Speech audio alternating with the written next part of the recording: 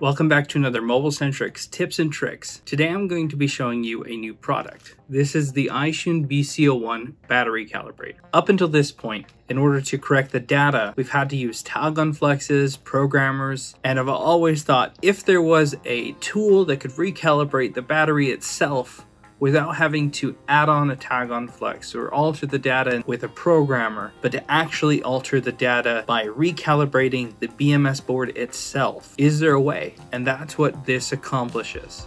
Let's get into the video. This right here is the AiXun BC01 battery calibrator.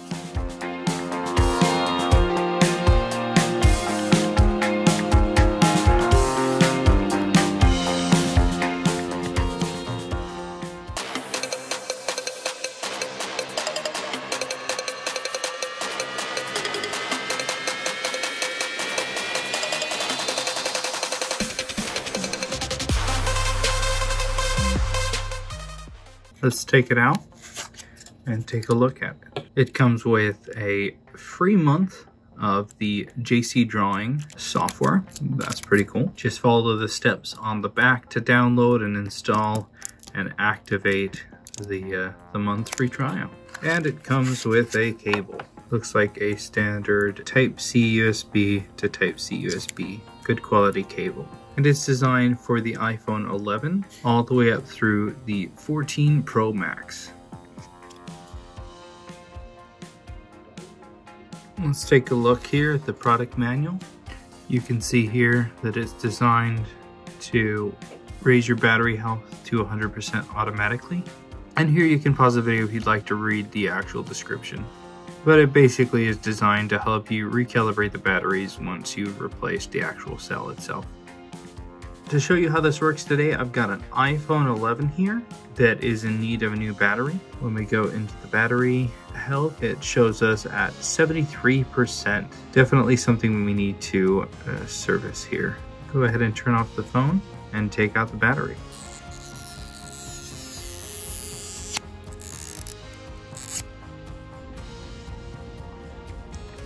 Alright, now we've got the battery out, we can go and connect it up and see what it says. And here you can see the battery capacity, the charging state, the current state time, the actual capacity, the full charging capacity, the health, and the cycle counts. Alright, so I've got this hooked up to the computer. I've upgraded it, and now we'll connect the battery. And we can see here that it has the cycle count, the battery health percentage. It actually says that it is 76 instead of 73, which is interesting, and it shows me the battery percentage at 31%. let's go ahead and refurbish this battery and see what this can do. Now I have other in-depth videos showing this entire process, but it's basically straightforward. The first thing that I'm going to do is carefully remove the sticker that is protecting the BMS board, which is the battery management system. I can grab the second sticker and gently pull it out. As I do that, it'll kind of unroll the BMS board and then I can remove that inner sticker as well. Just like that. And then inside here, you'll notice that there are two little hinges basically that hinge away from the BMS board on both of the leads that come out from the battery core itself. I'm going to carefully hinge those out like so. All right, I've got here a pair of ceramic scissors that come in and carefully cut right there along that seam. And we'll do the same on the other side, like so. Now here I've got a replacement battery for the iPhone 11. Slide it out, and here we've got our new core with the leads that come off of it. Now you'll notice there's a difference, quite a difference in length between those ones. The difference plus a little bit of extra that we clipped off of here, I'm going to trim off of the new battery, which ends up being about right there. Right, a little bit more. About an eighth of an inch. This one's a little thicker. It takes a little bit more shear strength. And there we go. I'm make that a little bit of a straighter cut. There. Now this next part is pretty straightforward. I'm just gonna carefully grind off the old tack welds off of the old uh, leads here with this little grinder until it looks more like that. Now I'll do the same to the other side. And a lot of the time you can just grind right through it so that it pulls it off just like that. And I'm just gonna smooth out the marks there. All right, from here I'm just gonna get a some type of metal base that's conductive like this, this brass uh, heat plate. And I'm gonna line up one side. Don't wanna, we don't wanna cross over the two leads, so I'm leaving one off the conductive surface. And then we'll place over our anode and cathode here, over the leads. And we'll get out our tack welder. Turn it on.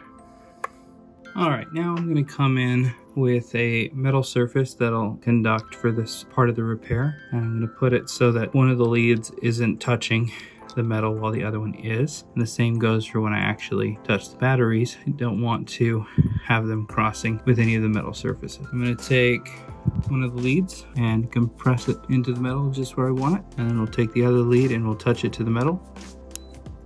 I think I need to increase the power output there. Just like that and I'm going to do it in several other spots.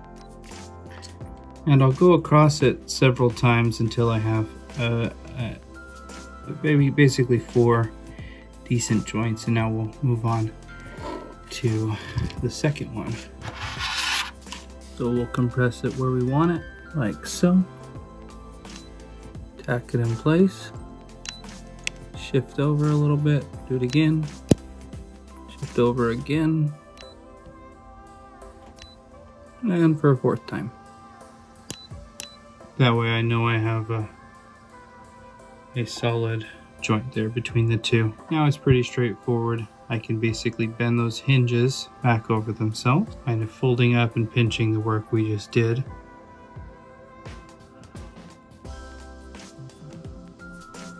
Now I can peel away the sticker protector there. I'm gonna take the old sticker, stick it down inside there, and we'll roll this guy back up.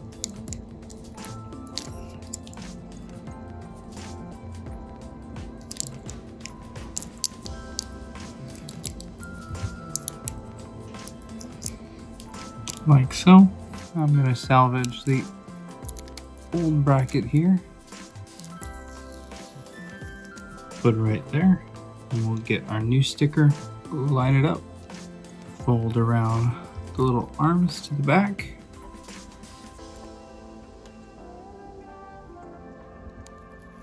And then wrap everything else up nicely.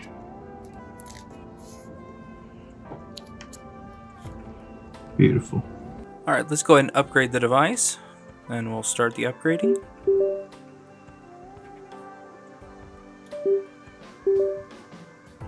Go, successful. And here in the parameters is where you can view all of the settings that you can alter if you'd like. Adjusting these will definitely decrease the amount of time it takes for the cycles to actually take place. Alright, now we'll come back over and we'll plug in the battery.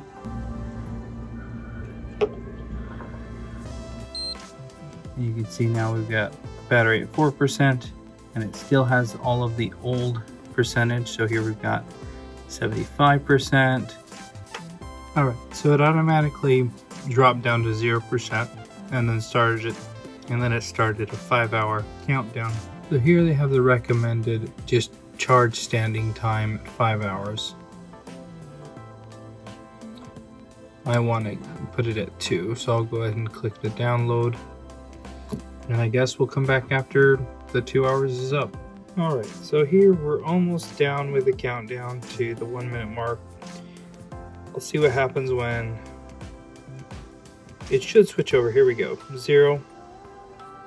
Alright, so now I've got it uh, with a different cable connected to the power supply and we've actually got it pulling 1.8 amps.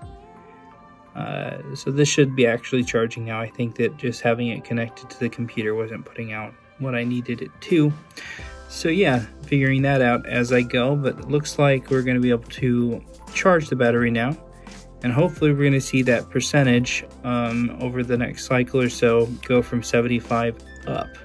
That's the goal anyway. And after only 8 minutes or so, we've gone up 10%. So it's headed in the right direction. Apparently it does has to go through a full cycle in order to alter the actual battery health. So let's let this go and we'll check back when I have an update. All right, so now we've been charging for about an hour and a half and we are almost at the 100%. Now we're at the 99%.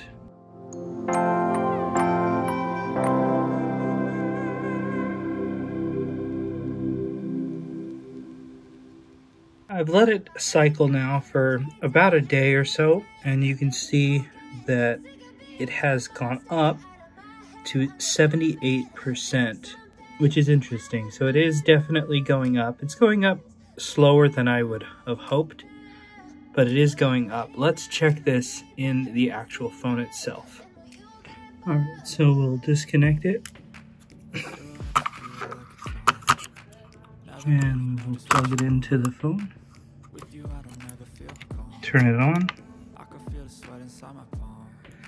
Alright, and let's take a look in the settings and see what's happened with the battery health. It was at 73, I believe, before. It still needs to be serviced because it wasn't above that. It still says 73 here. Alright, so I'm going to try something real quick. I've got another battery that isn't original to this phone installed. I want to see if I can get that message and then and then to see if the battery data will then be corrected. It still says 78 there. Let's go see if we get the notification in the yeah, important notification here. That's good. can't rec it doesn't recognize it. Go ahead and turn that off.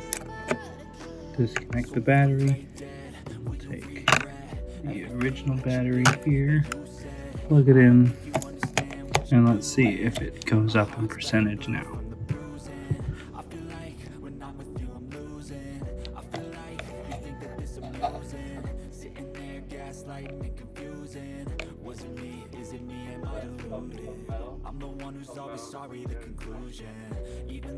And there we go. It has gone up in percentage. It actually says that it's at 79. So this definitely does work to adjust the percentage inside the actual battery BMS board versus using the tag on Flex to alter the data. All right, so I'm just gonna let this continue to run for a bit longer. We'll reconnect it and we'll just let this continue to go and and get that percentage a bit higher. The really cool thing about this is it's actually changing the data. It's not just basically tricking the data, kind of overwriting the data. The tag on flexes will definitely work to get it to get to to to alter the data. The only thing is, is programs like 3uTools can still see past the, the tag on flex to see the old data, whereas using this product is actually changing the data in the BMS board itself without the need of a tag on flex. So it's a step in the right direction. I wish that this was faster, but obviously charging a lithium cell is it isn't something that you can do quickly uh, and discharging it quickly it that would that would damage the cell itself so it has to go through this process of raising the the charge and discharging it over and over again and it and it and it will then fix the data itself. Pretty cool. All right so i've let it go over the weekend and now we're at 99 percent. So it's definitely gone up and uh, we'll let this go through maybe one more cycle and we'll see where uh, where it gets to with percentage I'm a little impatient, so I'm not to wait until it says 100%, but I've got the phone here. We're to boot it up with the power supply so that we can flag a, a non-genuine, uh, get the non-genuine message. But you can do this process with just an aftermarket battery or another genuine battery that wasn't the original to the phone. We'll click on battery. There we got the important battery message. Now we can go ahead and turn off the phone. You see that we're still only at 99%, but it's been there for, for a while. And last time when it showed a percentage, it was actually higher inside the phone. So I'm just gonna try that real quick. We'll disconnect it from here. We'll go ahead and install it inside the phone. Let's go ahead and turn it on.